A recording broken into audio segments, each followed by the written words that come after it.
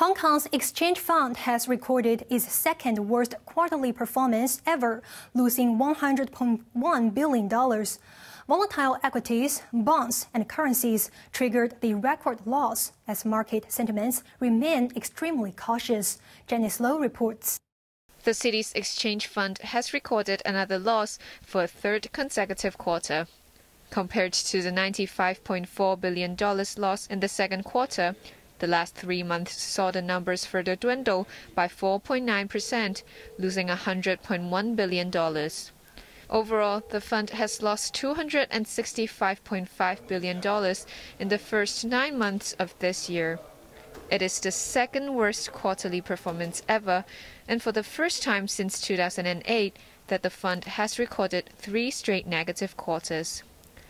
The authority put the blame on stocks, bonds, and currencies, all of which have fared badly this year.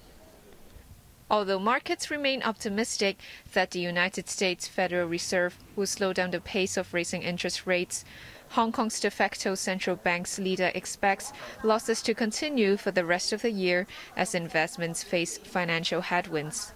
We might see a slight uh, decrease in our, in our overall losses for 2022.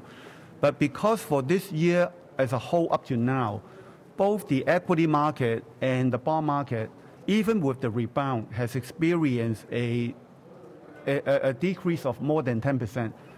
And US dollar remains strong, so we will see a, you know, the, the chances of having a substantial loss for this year uh, will still be there. Despite the fund heading south for another quarter, he said the monetary authority has been trying to minimize the loss. Uh, for this year as a whole, up to the third quarter, uh, the loss of the, of the exchange fund is about 6%.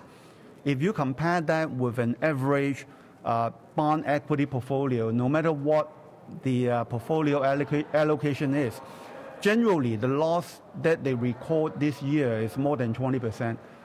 The investment environment will remain very uncertain and challenging for next year, Yue said.